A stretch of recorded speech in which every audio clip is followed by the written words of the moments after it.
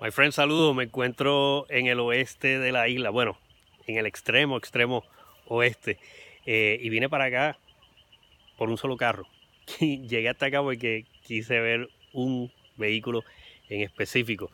No, es un vehículo que yo haya descubierto, no es algo eh, nuevo. De hecho, el amigo Gabriel Padilla lo, eh, lo publicó en la página de Barn Finds Puerto Rico y alguien más también lo había publicado ahí. Entonces, pues eh, con ayuda de Gabriel, pues llegué hasta, hasta el lugar y estoy aquí. No se lo puedo mostrar de cerca porque el sitio está en propiedad privada y no hay nadie allá ahora mismo. Y yo no creo, ¿verdad? Esto respeto mucho la propiedad privada y entonces pues no entré al lugar. Pero sí vine por un, un área pública que hay, como un parque en esta, en esta área. Y desde acá pues puedo ver el vehículo y les va a encantar. Mírenlo allí. Y al ver ese avión precioso, se los voy a acercar, por eso ustedes entenderán por qué he dado el viaje hasta acá, hasta Cabo Rojo, para venir a ver ese carro aunque fuera de lejito. Eh, la esperanza mía era encontrar gente en la casa y pues poder verlo bien, verlo de cerca, pero no se pudo. Así que pues desde acá pues se puede ver. Y eso que está ahí, pues para los que no lo conozcan, es un Citroën DS. Citroën es una marca francesa y este carro, el DS, fue un vehículo muy, muy emblemático para la automotriz.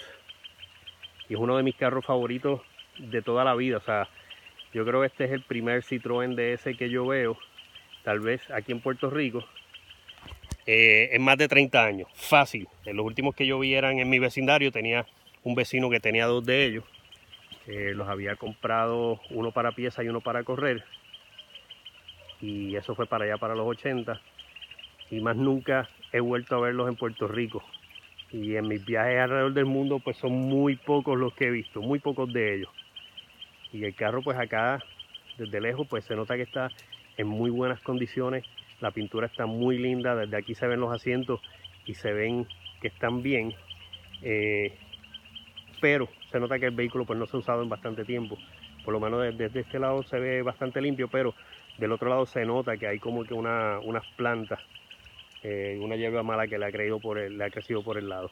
Y desde el extremo de afuera de la calle, desde donde uno puede ver el carro de frente, pues sí, se nota que esa, esas plantas pues están, están allá hace tiempo. Pero nada, un carro precioso, carro bello, por fin veo uno. Eh, si alguien si alguien sabe de otro Citroën DS que existe en Puerto Rico, me avisan porque me encantan estos carros y me encanta fotografiarlos. Este yo hubiera querido fotografiarlo con, con detalle, pero realmente no se puede. Eh, y pues vine desde para verlo desde esta distancia. O sea, se reirán, dirán, dirán, qué, qué fanático, qué loco, o sea, dar ese viaje tan largo para ver ese carro y verlo de lejos. Pero ahí está, por lo menos pude verlo.